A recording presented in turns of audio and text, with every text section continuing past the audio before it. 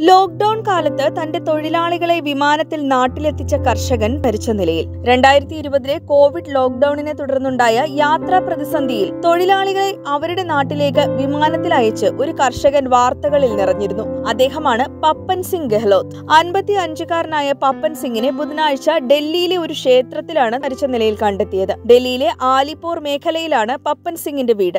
തന്റെ അസുഖമാണ് ജീവനൊടുക്കാൻ കാരണമായതെന്ന് ചൂണ്ടിക്കാട്ടിയുള്ള ഒരു ആത്മഹത്യാ കുറിപ്പും പോലീസ് കണ്ടെടുത്തിട്ടുണ്ട്. സംഭവത്തിൽ കൂടുതൽ അന്വേഷണം നടത്തുമെന്ന് പോലീസ് വ്യക്തമാക്കി. ലോക്ഡൌൺ സമയത്ത് രാജ്യത്തിന്റെ വിവിധ ഭാഗങ്ങളിൽ കുടിയേറ്റ തൊഴിലാളികൾ കുടുങ്ങിക്കിടന്ന സമയത്താണ് ഈ കർഷകൻ വ്യത്യസ്തമായ ഒരു തീരുമാനമെടുത്തത്. പപ്പൻ സിംഗ് ഗെഹ്ലോത്ത് തന്റെ തൊഴിലാളികളെ വിമാനത്തിൽ നാട്ടിലേക്ക് അയക്കാൻ തീരുമാനിച്ചു. ദേശീയ മാധ്യമങ്ങളിലടക്കം വലിയ വാർത്തയായിരുന്നു പപ്പൻ സിംഗിന്റെ നീക്കം. കോവിഡ് പ്രതിസന്ധി അയഞ്ഞതിനു ശേഷം തൊഴിലാളികളെ അവരുടെ നാട്ടിൽ നിന്ന് ജോലിസ്ഥലത്തേക്ക് തിരികെ എത്തിച്ചതും വിമാനത്തിൽ തന്നെയായിരുന്നു.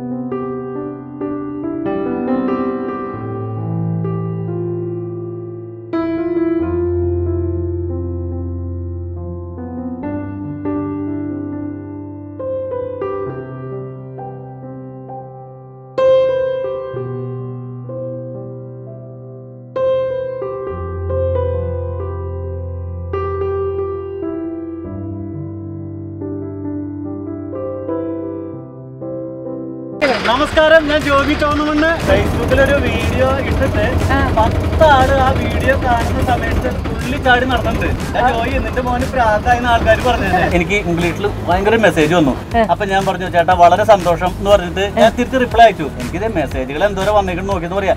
എന്റെ ചേട്ടാ ചേട്ടനെ പൂര ചീത്ത പറഞ്ഞതാ അത്. പേപ്പർ അങ്ങോട്ട് മേടിച്ചിട്ട് ഭയങ്കര എഴുത്തായിരുന്നു. അപ്പൊ ഇവർ മാഷ് വിചാരിച്ചു "ഏയ്, ഇവൻ എന്തായാലും അവൻ രക്ഷപ്പെടും എന്നൊക്കെ വിചാരിച്ചു. ഇത് വന്നത് മുഴുവൻ കുത്തി കോരി ഞാൻ ലാസ്റ്റ് എഴുതി വെക്കും. ടീച്ചർക്ക് വേണ്ടി ഞാൻ പ്രാർത്ഥിക്കാം. ടീച്ചർക്ക് നല്ലത് വെക്കണം എന്നെ ജയിപ്പിക്കണം ഒപ്പ്. സിനിമ അഭിനയായിരുന്നു എന്റെ ഏറ്റവും വലിയൊരു ആഗ്രഹം. പിന്നെ ഈ മുഖം വെച്ചിട്ട് അതിന് കൊള്ളില്ല എന്ന് മനസ്സിലായി. സത്യം പറയാം എനിക്ക് ആരും കൂടി അറിയാവുന്ന ഇംഗ്ലീഷ് അതൊക്കെയെന്ന് അറിയാം. ആരോടും പറയണ്ട. താങ്ക് യു ഓക്കെ ഈ രണ്ട് മൂന്ന് സംഭവങ്ങളാണ് ആകെ കൂടി നമുക്ക് അറിയാവുന്നുള്ളൂ. എന്നോട് ഇടയ്ക്ക് ചോദിക്കുക ചേട്ടൻ മൂവായിരത്തി അഞ്ഞൂറ് രൂപ വണ്ടിക്ക് ലോൺ അടയ്ക്കാനാണ് തരുമോ അപ്പം ഞാനിത് എന്തത് നമ്മളോട് ഇങ്ങനെ ചോദിക്കുന്നത് അയച്ചു സുഹൃത്ത് എന്റെ കയ്യിൽ ഇപ്പം ഇല്ല. അപ്പോൾ ഒരു അടുത്ത കമന്റ് ബോക്സിൽ ഇവൻ കള്ളൻ. യൂട്യൂബിൽ നിന്ന് കുറേ പൈസ ഉണ്ട് അങ്ങനെ ഇങ്ങനെ എന്നൊക്കെ പറയും. അതിന്റെ പുറകിലുള്ള കഷ്ടപ്പാടൊന്നും ഒരാളറിയാം. ഞാൻ എന്താ ചെയ്തതെന്നുള്ളത് ദൈവത്തിനും അറിയാം എനിക്കും അറിയാം. അത് അവർക്കും അറിയാം.